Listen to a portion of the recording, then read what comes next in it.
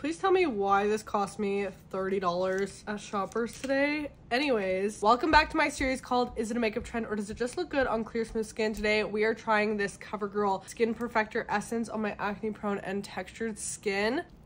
We've been seeing this texture all over online and it looks insane. So let's just grab this on a brush and go right on in. I don't have anything on the face right now and I picked up the shade Fair.